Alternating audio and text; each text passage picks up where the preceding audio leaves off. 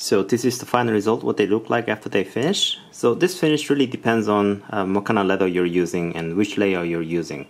So the denser leather, it's better for this finish. So if I explain in details, um, this leather is just a one piece of leather, uh, vegetable tan leather, black one. It finishes like this.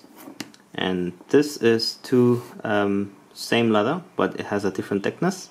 And this top one doesn't have much of a loose layer, so it shows you uh, much more dense result. And on the bottom, it's the same leather, but it has more of a um, fibrous um, structure, and it shows more of a fuzzy finish. So this finish works really well with a dense leather, such as Cordovan or other type of leather. So uh, if you're trying to look for um, what kind of finish are you trying to use, try to use it on dense leather so that it gives you a smooth and nice finish like this.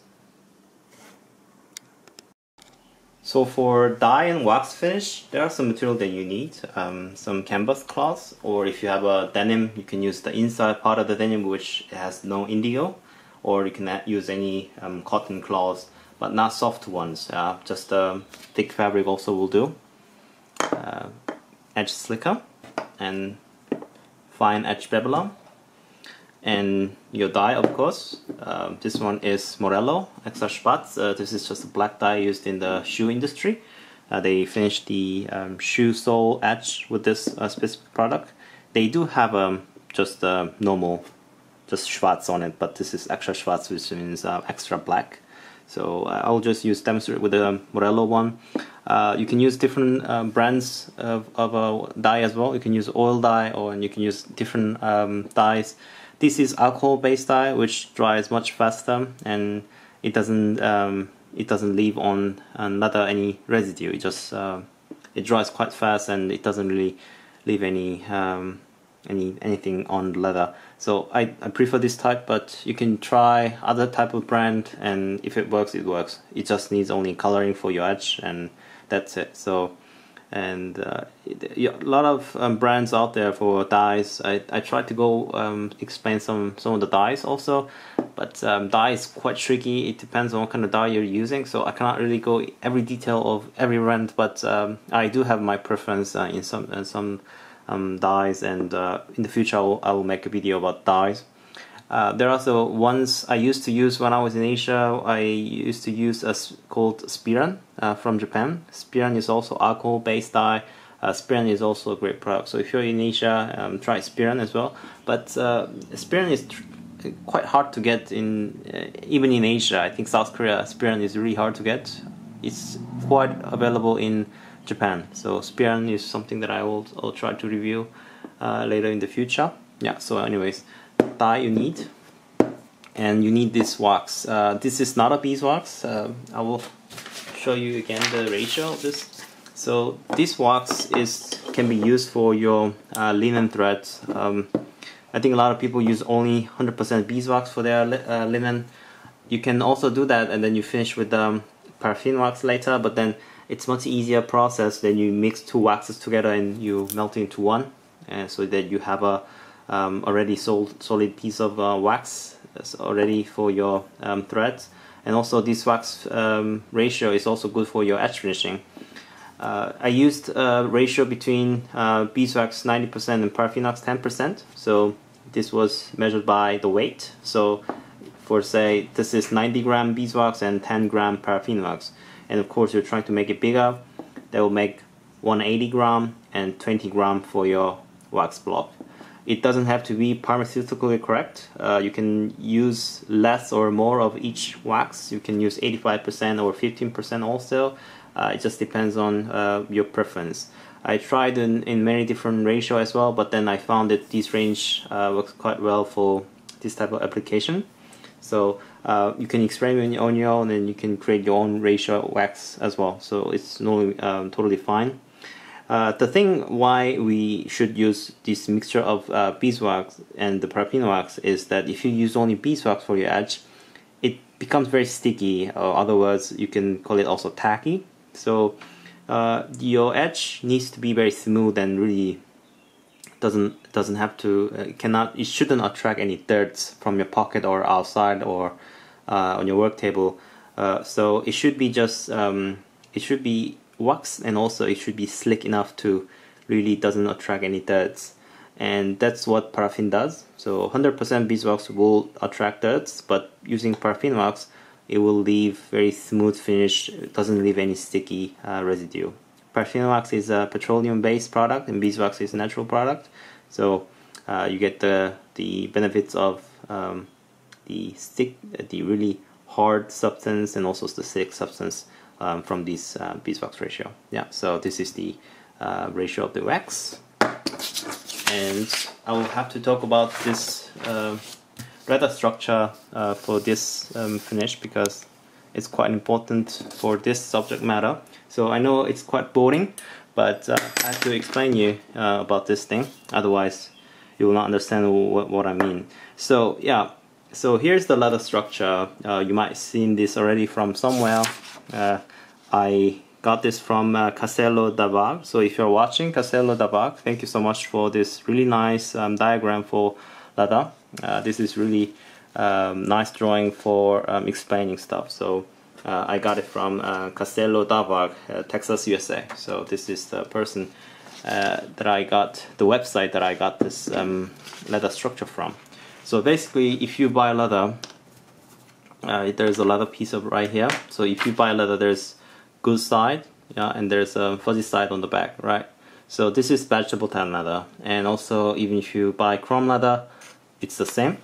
So if you have um, grain structure like this, uh, this is uh, leather, yeah. So uh, it's all fibrous, just mingled up together, and it's just a fibrous material, yeah but it has a different grain side to it. So uh, this side, which is the the outside of the leather, the good side, this is the most durable side, and it has very uh, the density, dense um, gra grain on this side, and on the bottom, the fuzzy side, it has a loose loose grain. Uh, it's a it's quite loose fiber, so uh, the leather gets less dense towards the split side to the bottom side. Yeah so uh, the all your rigidity and your strong good leather comes from top and uh, a lot of makers try to um, grind on the top side so that they can uh, reveal the smooth side but then if you have a really nice leather they don't do that and they still have a lot of thick portion of the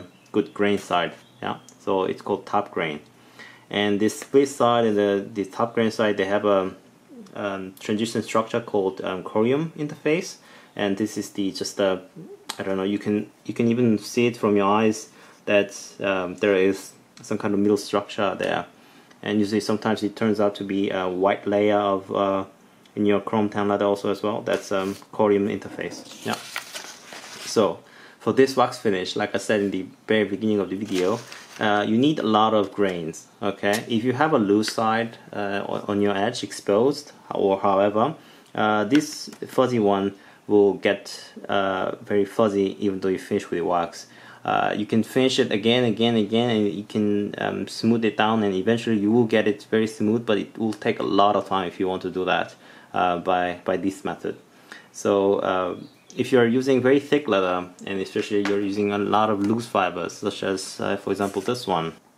Yeah, if I show you like this, so you will see a lot of fuzzy side in the middle. This is two leather glued uh, to one piece and you will see a lot of fuzzy side inside this um, core of the leather and this will reflect um, very coarse edge finish from this wax finish. Yeah.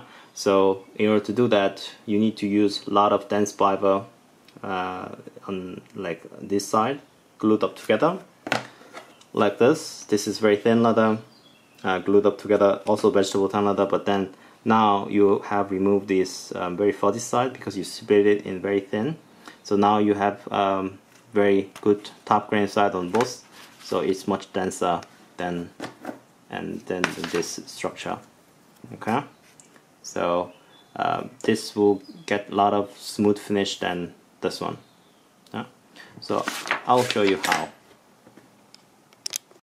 So first I'll demonstrate with black leather, which is the easiest one and you need some kind of uh, backing paper. You can use any um, phone book or any other pamphlets or advertisement paper behind your uh, leather so that when you dye leather if you even you drip drop some of the droplets of uh, dyes your work there will be saved so I'll use glove for this uh, because I don't want to dye my hand.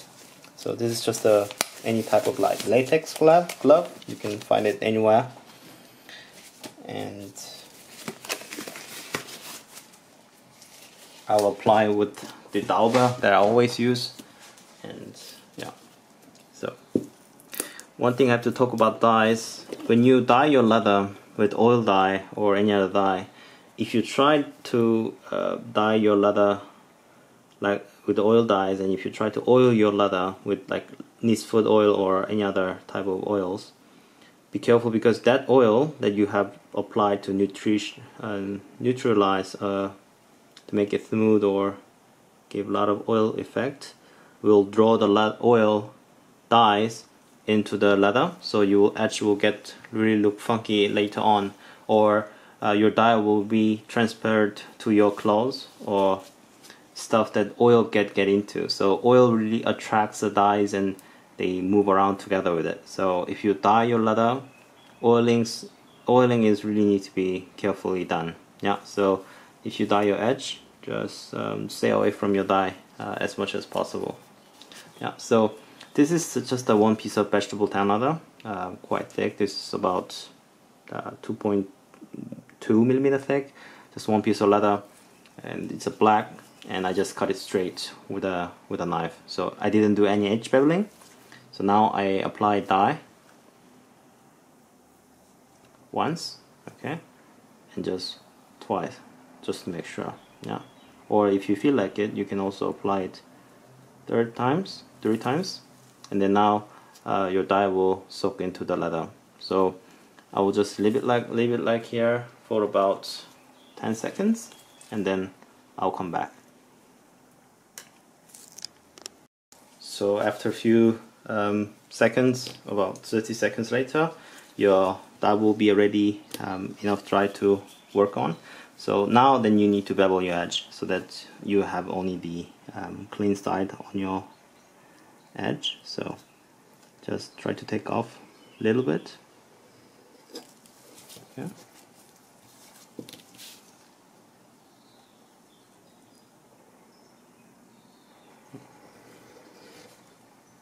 Yeah, this this has very fibrous side. Okay so now uh, I'm using this electrical um, mini iron that I did review uh, a while ago. I'll put the link in the description about this iron you can get different version in US and it's quite nice and it's handy. Uh, I'll set it into volume 2 setting which is the high setting. And I'll try to melt the wax um, by touching the tip like this. Uh, you may use apply the wax directly onto the edge like this and then you melt it with the iron. You could do that but what I'm trying to do is I'm trying to avoid any um, damage to the leather. What I mean is that if you touch your leather uh, too much your leather kind of becomes used item after you complete the stuff. So to in order to get the very fresh look uh, for your leather item um, don't touch your leather too much. So avoid any contacts uh, if possible. So this case I'm also trying to avoid any um, physical contacts uh, to the edge and also the surface of the leather. So I'm just trying to uh, melt it with the heat the wax and then I'm just going to apply the melted wax onto the edge so that it works on better okay? But of course certain case if you need to um, apply the solid wax first and then you can melt it of course okay? So do not apply too thick just apply very thin. I say about two or three times layer will be nice enough. Yeah we don't want to be wax to be like too thick build up to the edge okay? So just enough to melt in the wax into the edge okay? So now what you should do is get your slicker and try to rub it in like this. Okay just slick your edge just like you would slick your edge. Okay? Like Tokonole if you're using Tokonole. Okay? So.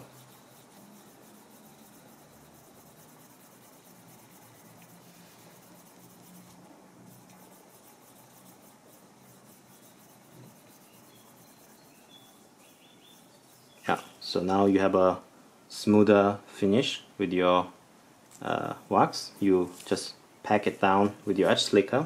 And what you need to do is using this cloth um, canvas cloth you need to buff it. Uh, you are not trying to polish this uh, by any means. You're, you're not polishing anything. What you're doing is you're trying to remove any uh, residue of dyes and waxes. Uh, right now the state is that wax is blended with the dyes. So if you just use it like this you will get some residue uh, left on your clothes or hands. So you just remove the only the excess of it. So don't be so aggressive to it just lightly buff it okay? Just to remove any residue. So try to go on the top layer and also the edge layer like this so that you you're trying to feel it uh, as if you try to uh, remove any residue. So you're just cleaning basically yeah? So cleaning the edge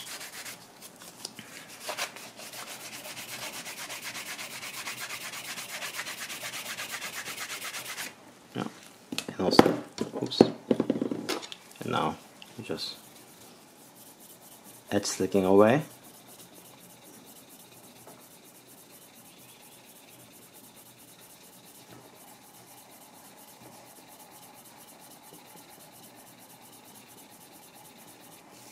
So that's it. So this is how it's done. So like I said if you have a dense fiber you will not um, get the very shine look to it.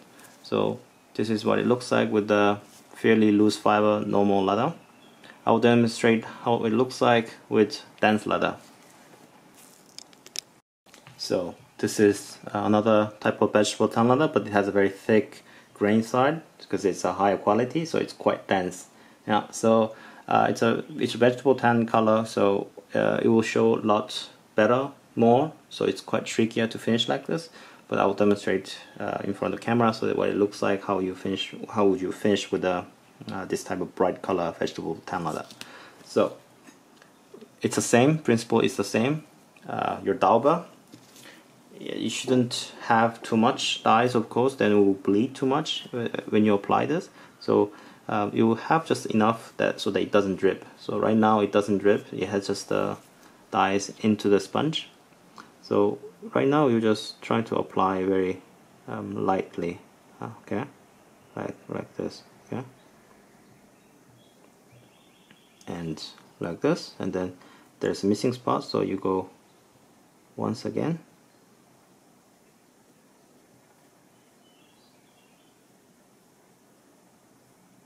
Okay? So you will have dyes a little bit on your on your edge but then don't worry because you're going to remove this with your edge beveler so um, that's why we edge bevel uh, later and not before the we apply dye so I will do the edge beveling now. So it's good about um, alcohol based dye. They dry very fast. So I prefer alcohol based dye. Okay. So remove this side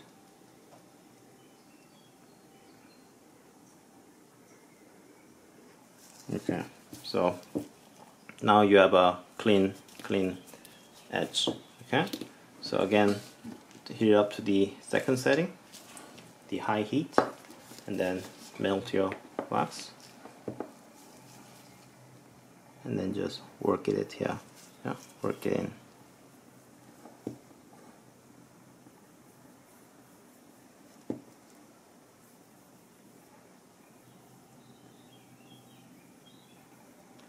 you are um, not building thick layer of wax. You're just melting in okay? You're melting in wax layer.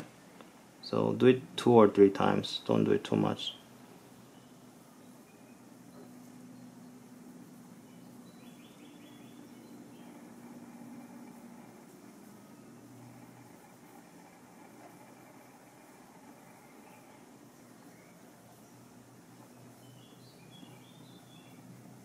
okay so I turned it off and then when it's cooled down a little bit yeah you slick your edge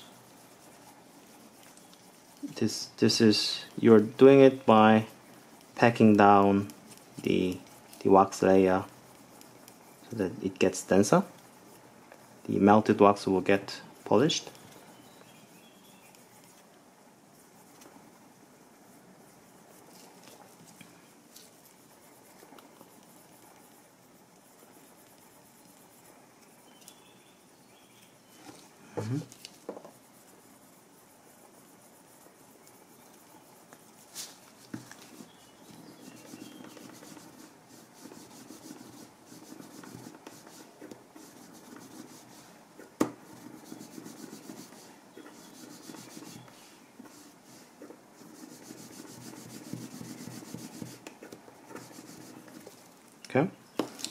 It's polished now we clean with uh, the cloth. Just pop it.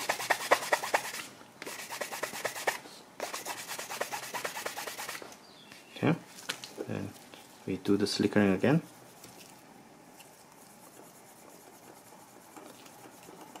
And this will be end of it. It's it's quite simple but also multiple step. And it's really picky in uh, what kind of leather you're using. So uh, you may get great results and you may not get the results and it also all depends on, uh, on your leather. So uh, try in different application, different leather that you have and you might get great results yeah, if you practice enough. So yeah, so this is the finished edge. So this is very nice glossy dense finish whereas the one that I just did in the earlier video. It doesn't give you that much of a clean look but still it's edge wax finish. Yeah, so uh, it really depends on what kind of leather you're using. So this is how you done. Uh, this is how you dye and wax finish your edge. I hope you guys um, enjoyed this video. If you haven't subscribed to my channel, please subscribe. I have much more um, tool review videos and how-to videos in the future. And if you hit the bell button you will get the notification and um, yeah you will get you will know um, if I upload new video so you will get the notification.